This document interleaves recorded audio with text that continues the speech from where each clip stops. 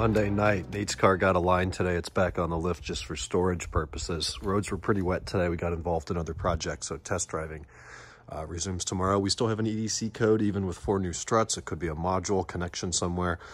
We'll have to get an INPA scan or an ISTA scan rather in there and see what the heck's going on.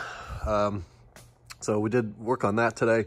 We took delivery of the 97 528, the silver car. It's at the body shop now. Got the bumper pulled off, new one put in the car. Took that over, dropped it off. It took a lot longer to do that than uh, it does to say it. So that was kind of the, the, first part of the day. And then my 540, which is out front now, uh, put in the stainless brake lines today, bled the brakes out. Not much of an improvement, I don't think. I'm about to drive it home, so maybe I'll report back later and see if it's really made a difference. I, I just think that the, uh, the pads, the Akebono Euro Ceramics, are just a softer compound uh, in the name of dust and rotor friendliness. So uh, we'll learn to live with that, I think. It's, it's not horrible. Um, if I really don't like it, we'll just go to the Carbotech 1521s that are on my M5 and go from there. Rest of the week, we got to pull out the headliner and the pillars on this thing. We've been talking about it. It's time to do it, so that's going to start soon.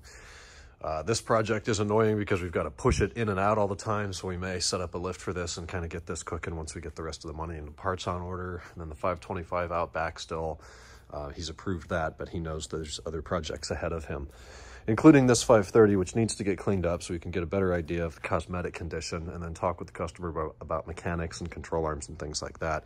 Definitely needs a brake fluid flush. We just did an oil change on Friday, so we're getting there.